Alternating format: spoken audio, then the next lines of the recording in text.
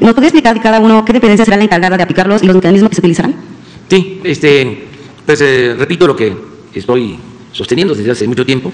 Es parte de uno de los compromisos que hice en el Zócalo, la de desaparecer fideicomisos eh, y también fondos que se manejan de manera discrecional, sin transparencia, eh, fideicomisos para todo, eh, con aparatos burocráticos, muchos de ellos, donde se queda el dinero, son aparatos que se fueron creando en el tiempo, para eh, duplicar funciones de la administración pública, para no tener eh, ningún control o tener manga ancha y poder manejar los recursos sin eh, fiscalización.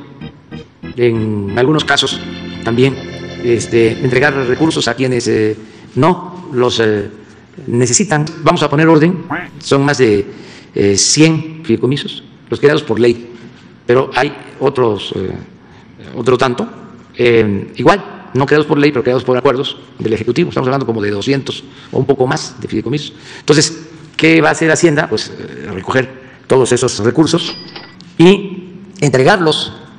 Nadie se va a quedar sin apoyo. Lo único que se va a hacer es una revisión para saber cómo se están ejerciendo esos presupuestos, a haber control y vamos rápido a saber si están bien aplicados los fondos. Lo que queremos es que se transparente todo lo que tiene que ver con el dinero del presupuesto. Vamos a hacer una revisión muy pronto de todos los fideicomisos, de modo que ni siquiera van a esperar un mes los que están recibiendo los apoyos. Que no hay aviadores, pues.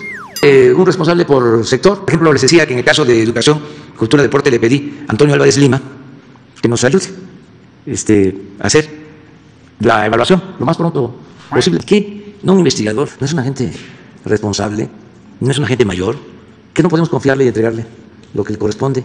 Es decir, úsalo para lo que tú consideres te va a ayudar en tus trabajos. ¿Por qué la tutela? ¿Por qué el gobierno administra todo?